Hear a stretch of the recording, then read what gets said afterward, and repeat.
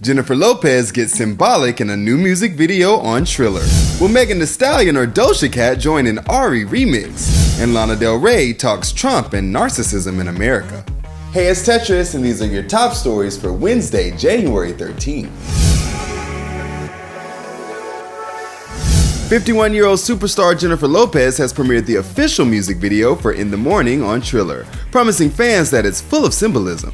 She mentioned that on IG, saying, I'm so excited for you to see the official video for In the Morning.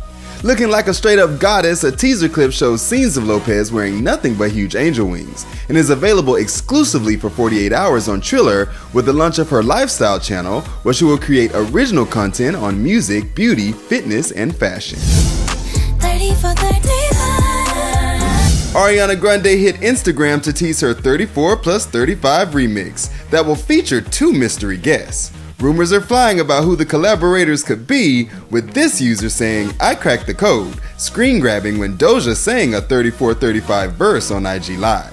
Also in the comments of the post, Megan Thee Stallion with the eyes. What a smash that would be. Lana Del Rey is talking about Trump, and Jordan has more on the story. I get it. I have something to say, and I don't just show up giggling and talking about my hair and my makeup.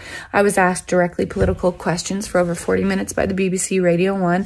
Lana Del Rey is continuing to address the controversy surrounding her chemtrails over the Country Club album cover. Shortly after sharing the artwork on Instagram January 10th, Del Rey shot back at those displeased with the seemingly depicted lack of diversity among her friends. My best friends are rappers, my boyfriends have been rappers. My dearest friends have been from all over the place. So before you make comments again about a woman of color, people of color issue, I'm not the one storming the Capitol. Then, during an interview with BBC Radio 1 on January 11th, the singer further elaborated on the Capitol riot. Del Rey added, The madness of Trump, as bad as it was, it really needed to happen. We really needed a reflection of our world's greatest problem, which is not climate change, but sociopathy and narcissism.